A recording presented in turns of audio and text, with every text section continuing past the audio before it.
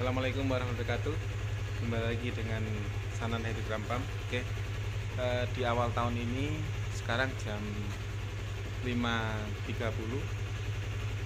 eh, Saya akan sesuai di area Malang ya. Ini nantinya di eh, Pondok Pesantren. Nah, Semoga di awal tahun ini Menjadi awal yang baik dari sebelumnya.